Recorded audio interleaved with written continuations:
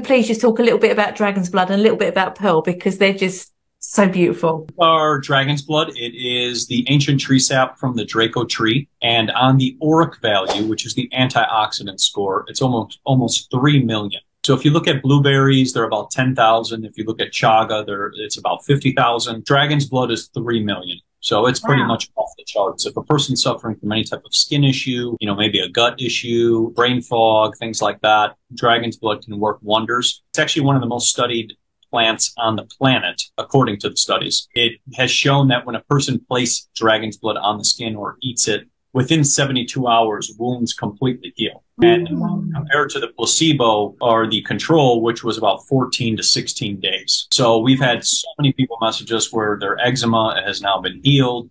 They had some sort of skin issue. I had a lady with her hand it was completely covered in eczema. I mean, she couldn't even play with her kids. And I said, you should give Dragon's Blood a try when she reached out to me. Within a month, her hand completely healed. It's just, it's remarkable. So it's a very powerful superfood.